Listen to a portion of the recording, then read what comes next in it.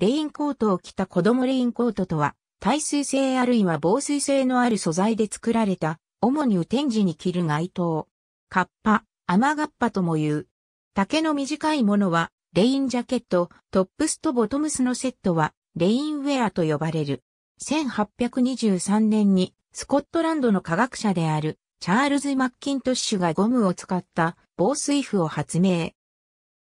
この布を使ったレインコートがロンドンで流行した。1879年にトーマス・バーバリーがギャバジンを開発。日本産業規格では耐水圧 2000mm 以上で防水生地として扱われるが、衣服に使う場合はこれでは不十分なことが多い。例えば濡れた凹凸のある地面に座った場合、凸部分の水滴はそれ以上の圧力で衣服に押し付けられる可能性がある。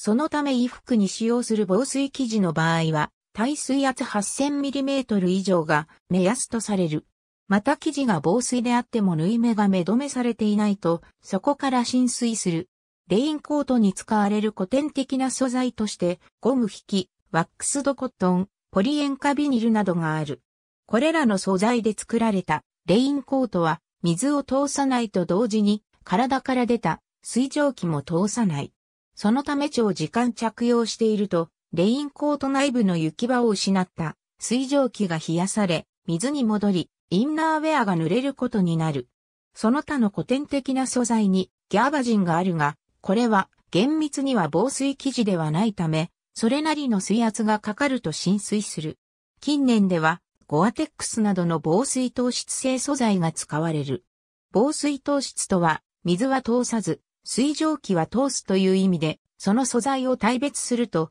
無穴質と多孔質に分けられる。多孔質は、水は通れないが水蒸気は、通れる極小の穴の開いた構造になっている。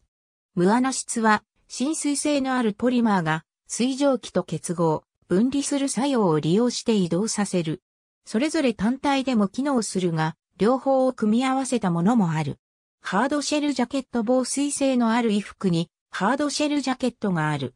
レインジャケットと似ているが、登山などのアウトドアスポーツにおいては、突然の雨など天候の変化で脱着するものは、レインジャケット、天候に関わらず常時着用するものは、ハードシェルジャケットとして区別される傾向がある。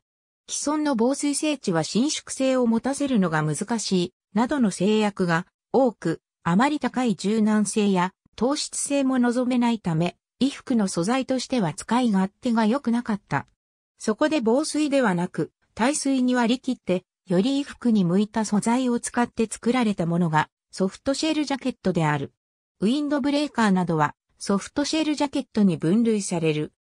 鮮やかな色で光沢の強いレインコートは、視覚的に観客に強い印象を残す効果を目的として、洋画では小道具として使われることが多い。主人公の個性、キャラクターを特徴づけ、視聴者へのインパクトを期待して用いられるケースがあり、刑事、コロンボなどは、その成功例とも言える。児童書では、小さいももちゃん、ワニくんのレインコートシリーズなど、教育、地域の絵本で題材に取り上げられる場合がある。ミステリでは、重要人物のキーアイテムになる作品が書かれている。ありがとうございます。